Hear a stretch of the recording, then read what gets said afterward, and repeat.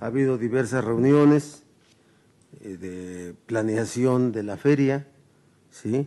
Eh, hay una comisión intersecretarial, participa también el ayuntamiento municipal y está en desarrollo lo que tiene que ser la planeación de esta feria poblana de mayo. Claro que sí.